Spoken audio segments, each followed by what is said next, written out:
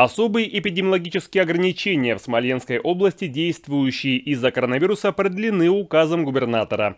Документ был подписан 20 июля. Ранее до этой даты действовал второй этап смягчения особых мер. Теперь же он продлен на неделю до 27 июля. Тем самым остаются под запретом культурно-массовые мероприятия, работа учебных и спортивных объектов. Остается ограниченным и въезд в город атомщиков – Десногорск.